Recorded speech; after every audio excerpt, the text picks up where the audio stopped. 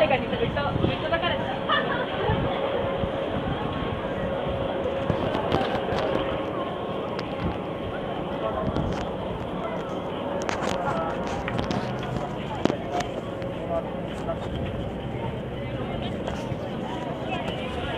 ก็ก่อนอื่นครับก็ต้องขอสวัสดีแฟนเพจสยามสปอร์ตทุกท่านนะครับ ตอนนี้ครับผมอังเวโลนะครับ แล้วก็ทีมงานสยามสปอร์ตครับ พาทุกท่านมาชมบรรยากาศก่อนเกมเจลีกนะครับ วันนี้ครับวิสเซลโกเบของธีราทรบุญมาทันครับ มีคิวบุกมาเยือนจูบิโลอิวาตะนะครับ ก็หลังจากที่สัปดาห์ก่อนนะครับธีราทรของเราต้องบอกว่ามีอาการป่วยครับทำให้พลาดลงสนามในเกมที่ออกไปเยือนทางซานเฟรซเซ่ฮิโรชิมานะครับหนึ่งสัปดาห์ครับที่ได้พักวันนี้กลับมามีชื่อลงสนามแล้วนะต้องบอกว่า ค่อนข้างเกินคาดเลยนะเพราะว่าแรกๆ ตอนที่มีอาการติดเชื้อไข้หวัดใหญ่นี่จากการเช็คแล้ว มีรายงานออกมาเหมือนกันว่าอาจจะต้องพักยาวถึงสี่ห้าวันเลยนะครับ แต่ว่าต้องบอกว่าโชคดีครับที่ธีรทรนะครับ หายป่วยก่อนกำหนดครับ แล้วก็กลับมาซ้อมวันพฤหัสศุกร์วันเสาร์มีชื่อกลับมาเป็นตัวจริงเลยต้องบอกว่าทางทาคายุกิโยชิดะนี่ค่อนข้างไว้ใจครับ ก็ ที่สอบถามมาเบื้องต้นนะครับ อีกไม่กี่นาทีนี่ รถบัสของพิเซนโกเบ แล้วก็ธีรทรน่าจะเดินทางมาถึงแล้วนะครับ เดี๋ยวเราให้ดูบรรยากาศหน้าสนามก่อนนะฝั่งเจ้าบ้านนะครับ ต้องบอกว่าคึกคักแล้วนะครับ ต้องบอกว่าแฟนบอลของจูโรอิวาตะนี่คึกคักตั้งแต่ช่วงเช้าแล้วนะครับ ผมเดินทางมาจากโกเบมาถึงนี่ก็ประมาณ 10โมงที่นี่ครับ ก็บอกว่าแฟนบอลเต็มแล้วนะครับ ขาดผมมาก่อนเกือบ4ชั่วโมงด้วยกันครับ ก็เนี่ยครับช็อปก็จะมีข้าวของเสื้อก็ จะเห็นอยู่นะครับ ตอนแรกที่ผมมาถึงนี่ก่อนสักสิบโมงนี่ต้องบอกว่าแฟนบอลจะมายืนรอเข้าสนามกันเต็มเลยครับหลังจากที่ประตูเปิดแล้วก็ทยอยเข้าสนามกันไปก็ ก็ยังมีบางส่วนที่ยังรอเล่นตามบูธกิจกรรมต่างๆ อยู่นะครับสำหรับยามาฮ่าสเตเดียมอิวาตะนี่ก็อาจจะไม่ใหญ่ไม่ทันสมัยเหมือนสนามอื่นนะครับแต่ว่าก็คลาสสิกไปอีกแบบนะครับ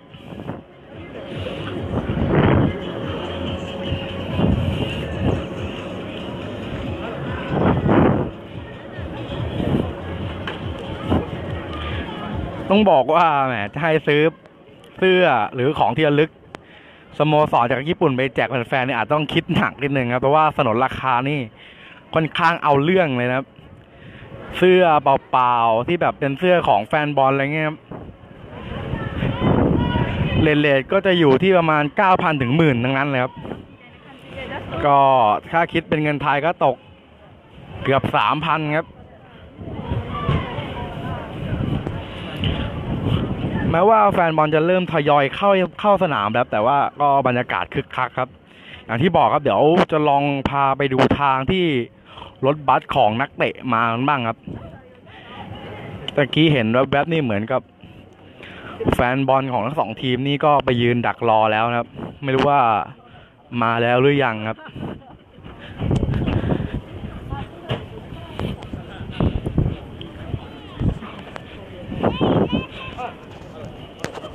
สำหรับแฟนเพจที่ถามมันเข้ามานะว่ามีถ่ายทอดสดไหมครับ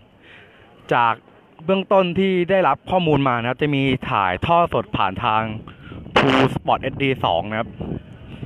สำหรับคู่ของจูโรอิวาตากับมิโซโกเบนะครับ เบื้องต้นก่อนนะท่าที่ทราบตอนมีหนึ่งช่องครับที่ถ่ายทอดนะครับ ก็เวลาไทยก็เที่ยงตรงครับ อย่าลืมติดตามกันนะครับ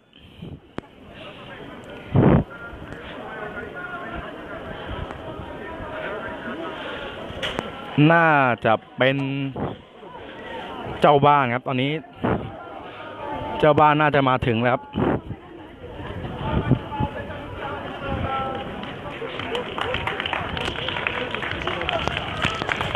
ไม่รู้ว่าโกเบมาแล้วหรือยังนะครับ แต่ตอนนี้เป็นเจ้าบ้านครับจูบิโรอิวาตาครับมาถึงก่อนครับ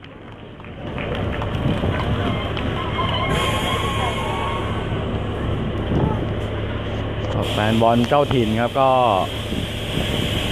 รอให้กำลังใจครับ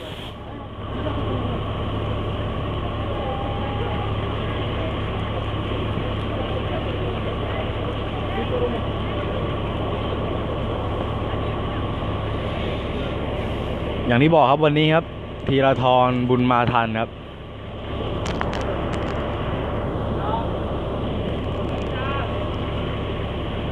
กลับมาลงสนามอีกครั้งครับ หลังจากเกมก่อนครับที่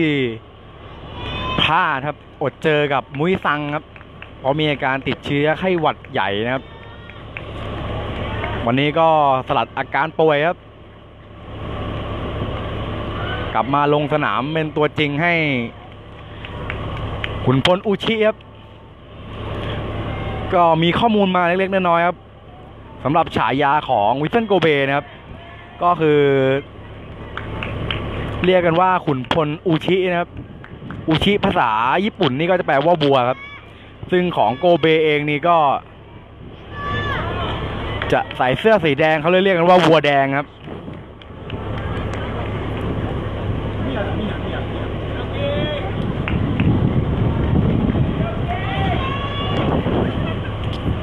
ต้องบอกว่ายามาฮ่าสเตเดียมนี่ออกจะใกล้ชิดกับแฟนบอลเหมือนกันครับ เพราะว่าสนามทางโครงทางเข้าอะไรก็ไม่ได้ไกลมากเลยครับ ดูถนนก็เป็นถนนเล็กๆครับ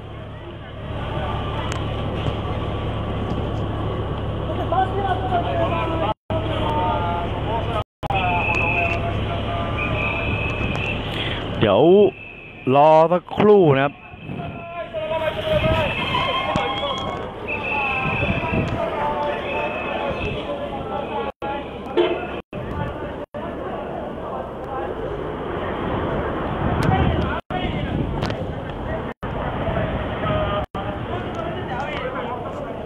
ก็ยัง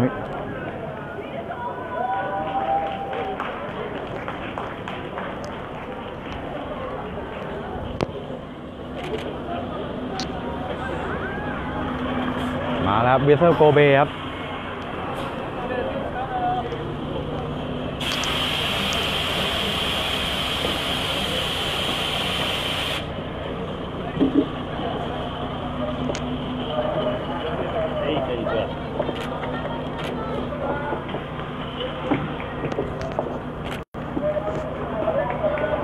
รอดูธีรทรบุญมาทานของเราครับ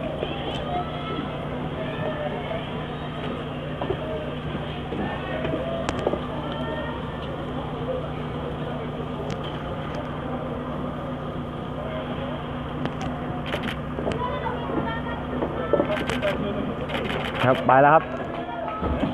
ธีรทรของเราครับ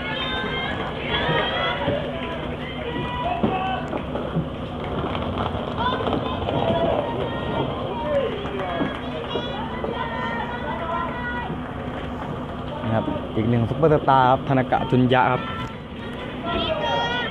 ผ่านการค้าแข่งในยุโรปมาแล้วนะครับ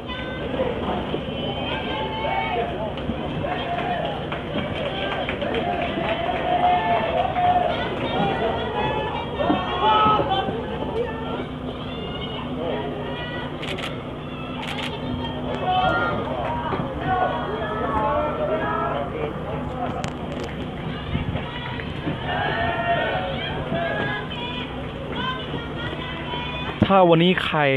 มีโอกาสได้ติดตามถ่ายทอดสดนะครับทาง True Sport SD 2 ครับ ก็ จะเห็นเหมือนกันครับว่า วันนี้จะเห็นได้เลยว่า วันนี้ธีรทรบุญมาทันนี่น่าจะมีบทบาทมาก ๆเลยนะเพราะว่าช่วงสัปดาห์ที่ผ่านมานะครับ ในการติวเข้มนะครับ ต้องบอกว่า ทางทาคายุกิโยชิดะครับค่อนข้าง ให้ความสำคัญกับเกมลุกริมเส้นทั้งสองฝั่งเป็นอย่างมากนะครับ ทางธีรทรเองก็ถูกติวเข้มนะครับในการเติมเกมลุก มีการเข้าทำในรูปแบบต่างๆนะครับ ซึ่งจะถูกใช้เป็นทีเด็ดในการเก็บแต้มในวันนี้นะครับ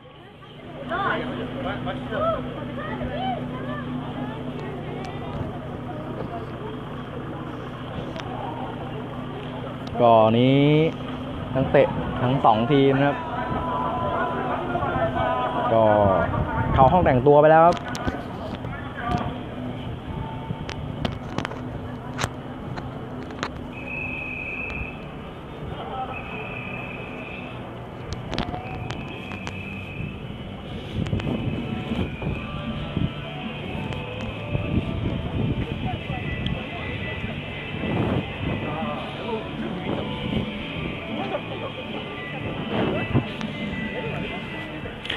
เดี๋ยวต้องสำหรับใครที่ถามเข้ามานะครับเพราะว่าตอนแรกที่ผมได้มานี่จะเป็นใบรายชื่อภาษาญี่ปุ่นนะครับ ก็ยังไม่เห็นครับว่านากาบุระมุระลงหรือเปล่านะครับ เพราะอย่างที่บอกเป็นภาษาญี่ปุ่น เดี๋ยวผมรอภาษาอังกฤษสักแป๊บหนึ่งนะครับ ถ้าได้ใบรายชื่อภาษาอังกฤษมา ก็จะแจ้งความคืบหน้าให้ทราบนะว่า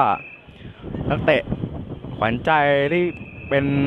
ระดับโลกที่ไปเล่นในยุโรปอะไรมาแล้วครับก็จะได้ลงได้มีโอกาสได้ชมฝีเท้ากันหรือเปล่านะครับ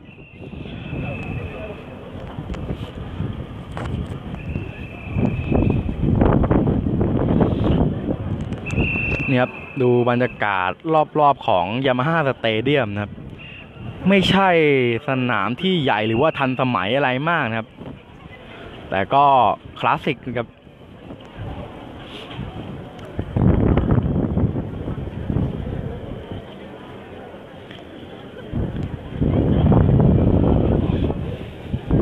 บอกนะว่าสนามยามาฮ่าสเตเดียมตรงนี้นะครับ ต้องบอกว่าเหมือนกับว่าเป็นสนามที่สร้างขึ้นมาเพื่อเวนรอบๆนี่จะเป็นเหมือนกับว่า นิคมอุตสาหกรรมนะครับ ก็สนามก็เหมือนกับถูกสร้างขึ้นมาเพื่อรองรับให้กับคนในนิคมเป็นส่วนใหญ่ครับ รอบๆที่ถ้าเห็นรอบๆนั่นก็จะเป็นโรงงานอุตสาหกรรม หรือว่าสำนักงานนะครับ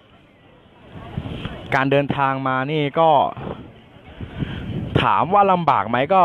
พอสมควรนะครับสำหรับแฟนเพจที่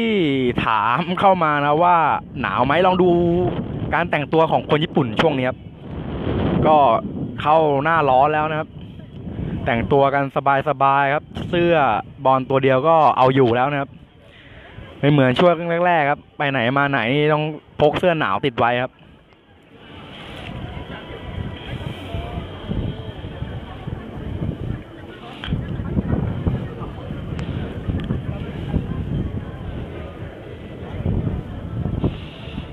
ก็ต้องบอกว่าน่าเสียดายนะครับ เพราะว่าวิสเซลโกเบครับพอลูคัสโพดอลสกี้จบไปเจ็บไปนะก็ทำให้เหมือนกับตัวชูโรงไม่ค่อยมีครับ อย่างเกมก่อนครับ บุกไปเยือนฮิโรชิมาแฟนบอลฝั่งฮิโรชิมาก็ถามมาครับว่าโพดอลสกี้มาไหมหายเจ็บไหมสรุปว่าเจ็บยาวนะครับ ก็พลาดครับ จะกลับมาอีกทีก็หลังบอลโลกเลยครับ ไม่เกี่ยวว่าเจ้าตัวจะไปเล่นบอลโลกนะครับซึ่งช่วงหลังๆนี้ก็ไม่ได้เล่นให้กับทีมชาติเยอรมันแล้วนะครับ อากาศตอนนี้ก็ ไม่ถึงกับร้อนมากครับ อบอุ่นครับ ก็ร้อนๆหน่อยก็จะอยู่ที่ประมาณสามสิบองศาครับ อย่างช่วงนี้กลางวันหน่อยมีลมก็ ไม่ถึงสามสิบดีครับก็ยังพอได้ครับ ยังไม่ร้อนเหมือนบ้านเรานะครับ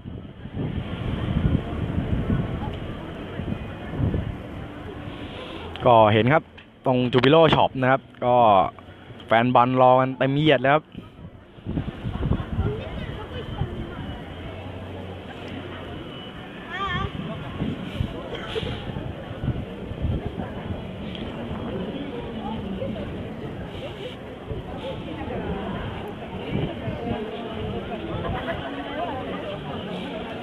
สำหรับที่ถามมานะครับ ถ้า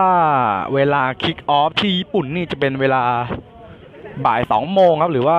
สิบสี่นาฬิกานะครับ ตรงกับที่ไทยก็จะตรงกับเที่ยงตรงพอดีครับสิบสองนาฬิกานะครับ ว่าที่ญี่ปุ่นนี่จะเร็วกว่าไทยประมาณสองชั่วโมงครับอย่างที่บอกครับการเดินทางมาไม่ยากนะครับ ก็จะเห็นแฟนบอลวิสเซลโกเบค่อนข้างหนาตาครับวันนี้ เป็นวันเสาร์ด้วยครับ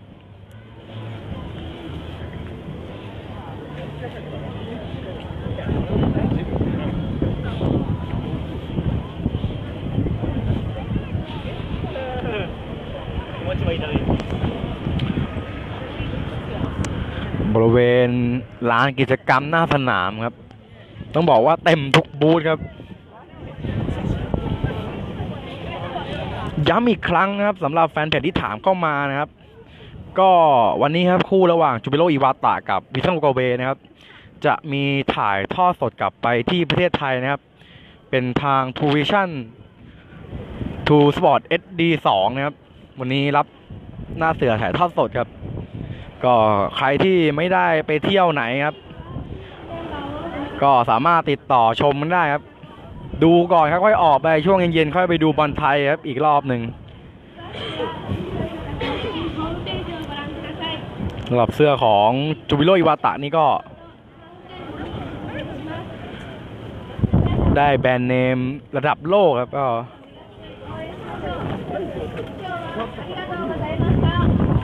ก็ถือว่า น่าจับจองเป็นเจ้าของครับ นี่ครับ อีกหนึ่งของยอดฮิตของคนญี่ปุ่นครับ ตู้อาชับปองครับ นี่เท่าที่เห็นนี่ก็จะเป็นกฎลุ้นนักบอลคนโปรดครับ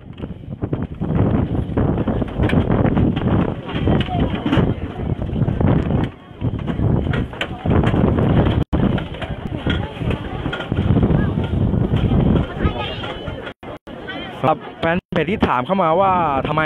ญี่ปุ่นเตะไวนะครับก็จากที่เคยสอบถามมาคร่าวๆนะครับก็เป็นเรื่องของลิขสิทธิ์ครับ เพราะว่า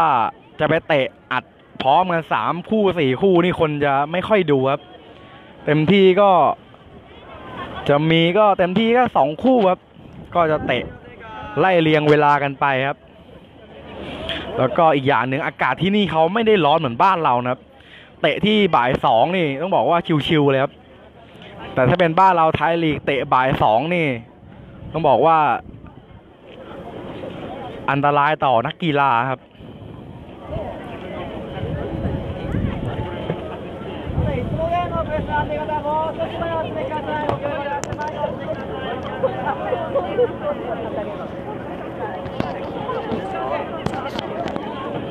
ต้องบอกว่าจูบิโลอิวาตะนี่เป็นอีกหนึ่งทีมที่แฟนบอลค่อนข้างเยอะนะครับ ไม่ได้อยู่แบบใจกลางเมืองมากครับ ไม่ได้แบบ ไม่ใช่เมืองใหญ่เหมือนโอซาก้าแล้วแต่ว่าแฟนบอลก็จะคล้ายๆสไตล์เดียวกับคาชิมะแอนท์เลอร์สนะครับ คือของคาชิมะแอนท์เลอร์สนี่ก็จะเป็นแฟนบอลจากโตเกียวครับที่ออกไปเชียร์ที่นี่ก็จะคล้ายๆกันนะครับ เพ ราะว่าอิวาตะก็ไม่ถือว่าเป็นเมืองที่ใหญ่เท่าไหร่นะครับ ก็จะอยู่เลยจากเกียวโตมาหน่อยนะครับ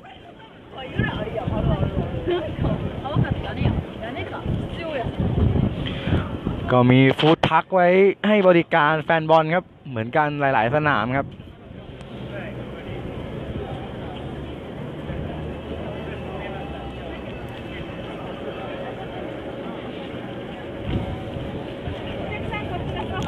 นแดดเปรี้ยงๆอย่างนี้ต้องบอกว่าไม่ค่อยร้อนเลยนะครับอากาศที่ญี่ปุ่น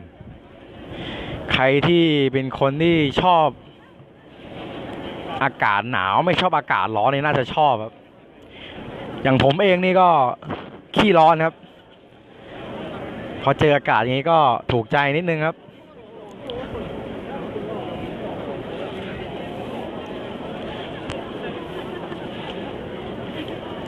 ดูแฟนบอลบ้านเขานี่ครับ ต่างทีมครับ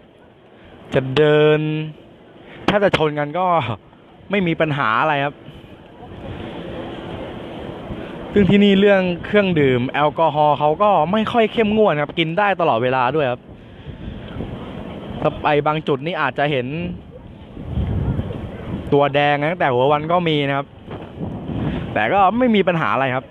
ของแฟนบอลญี่ปุ่นนี่ก็ อยู่ในระเบียบวินัยดีครับ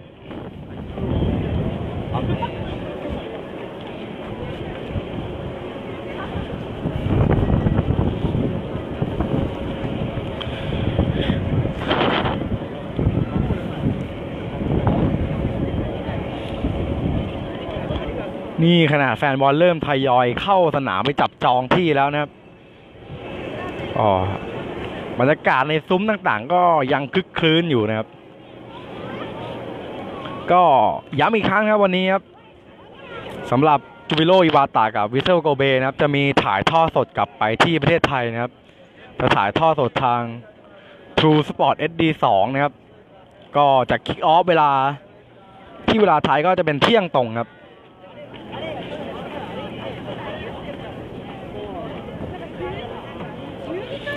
ก็เย็นนี้ครับใครที่วางแผนจะไปดูบอล ยลีกครับก่อนออกจากบ้านครับก็ อย่าลืมให้กำลังใจนักเตะตัวแทนจากประเทศไทยของเรานะครับ ก็สำหรับตอนนี้ครับก็สมควรแก่เวลาแล้วนะครับ